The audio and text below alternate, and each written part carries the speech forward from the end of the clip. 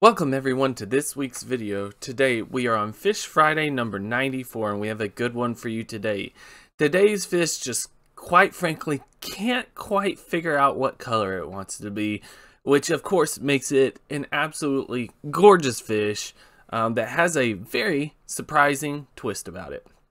Today's fish that we're going to be talking about is, bam, the rock greenling. So the rock greenling, or scientific name Hexagrammos lagocephalus, again that is Hexagrammos lagocephalus. It is part of the family Hexagrammidae, and it is found along the Pacific coast. So from Alaska, like the Baltic Sea of Alaska, all the way down to Southern California. And I think it continues on and can be found around Russia as well. Um, but it is primarily found in those rocky shorelines. They really like those rocky shorelines mostly. Um, they'll have, um, you know, like you can see in the background here, they like being around like some grasses, a lot of rocks, but and they can be found in tide pools and sandy areas, but they really seem to prefer those rocks. Um, in terms of like their depth, so they're in these rocky coastal waters, which usually have, you know, quite deep.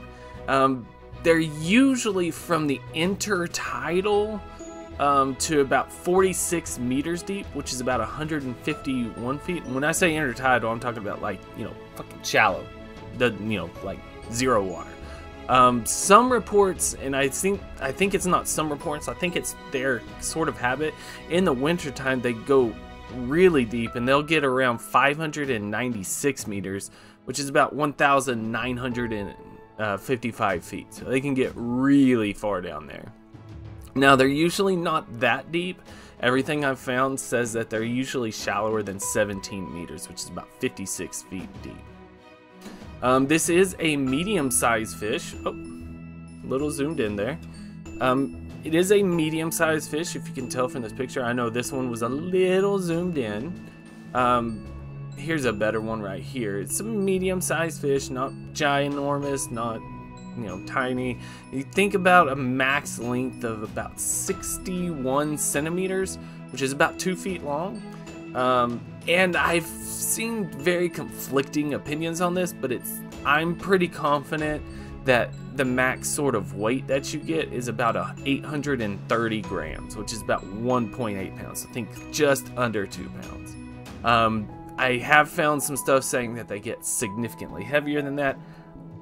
I just there wasn't enough to sort of get on to become that. It seems to me that that two pound is really about their max size. Um, please, if you know different, correct me in the comments. Love to be proved wrong. Um, it is an elongated fish, um, and it's got this fusiform body, so with that real cylindrical body. It's slightly compressed um, from ventrally, so from side to side, um, but it is primarily that fusiform, elongated.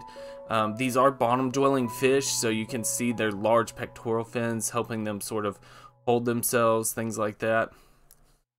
Should be called leopard fish. Yeah, it's this fish is um, basically it's maroon with all these spots.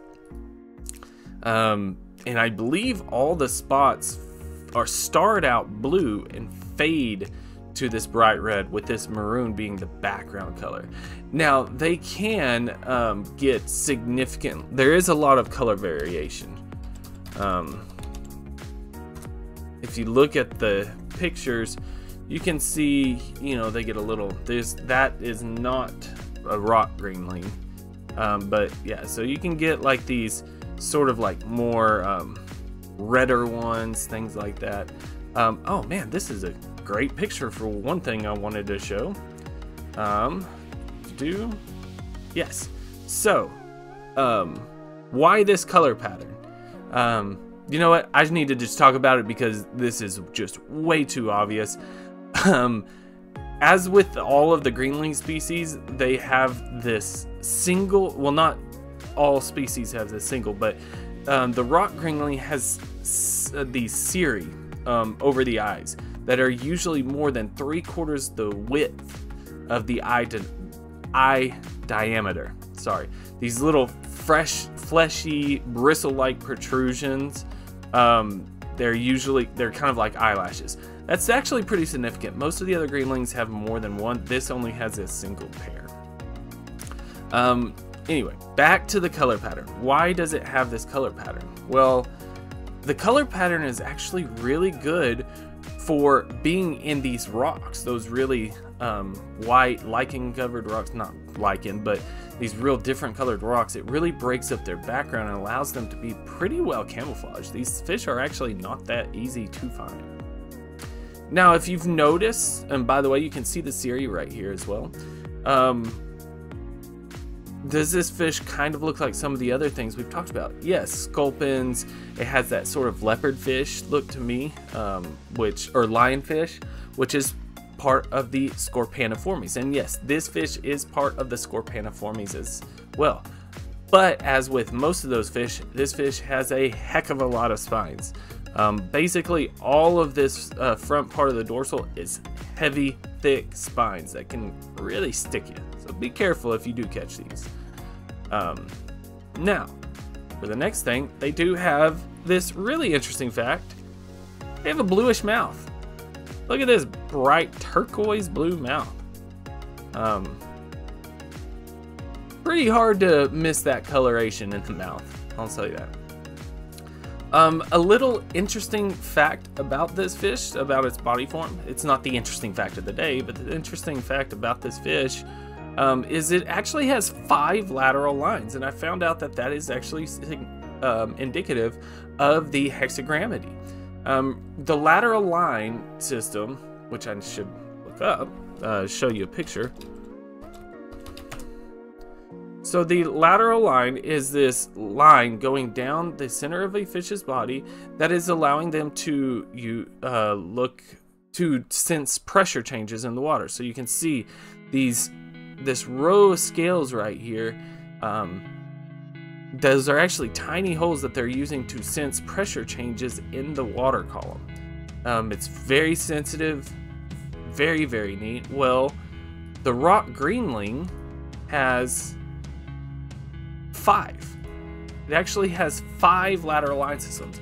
Almost all fish species have one. Very few have more than one um, especially freshwater. But this rock greenling actually has five. Now, I kind of gave you a sneak peek, didn't mean to. The interesting tidbit that we're going to end today um, these fish are um, very, very sought after for anglers. And one of the reasons why, and it's become a little sort of like, I don't want to say cold, is actually because of the meat of the rock greenling. Um, so the meat of the rock greenling is almost always blue or blue-green in color. But when it's cooked, it actually turned white. Um, by the way, you can buy this. I believe you can buy it for about $25 a pound. Um, don't quote me on that. Um, now, it has nothing to do, or I, nothing I could find says that it's because of what they're eating. You know how flamingos change pink because they're eating shrimp and crustaceans. Rock greenling feed primarily on like fish eggs and larvae and little tiny crustaceans. Really small food for a fish that has such a large mouth.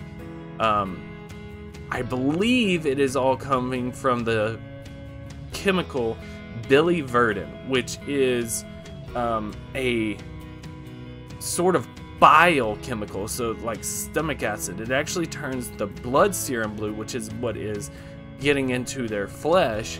Um, and something interesting about that, that biliverdin or biliverdin is the pigment that is responsible for the greenish color that you get in those really deep bruises. It's the same chemical. This fish just incorporated it into its flesh. I'm not gonna lie, if I cut into a fish and it had blue blue flesh, I kind of would have lost my mind, and I don't know if I would have eaten it if I hadn't have done this research right here. But now I kind of know. So again, I said at the beginning of the video, what color is this fish? Well, it's a red fish with a green name and blue meat. What a combo. what a combo. Um, But thank you guys so much again. I really appreciate it. Hope to see you again. If I don't, please be safe. Have a great day. Please leave a like, comment, and subscribe if you do. I'd really appreciate it. Hope to see you again. Take care of yourselves, take care of your loved ones, and peace.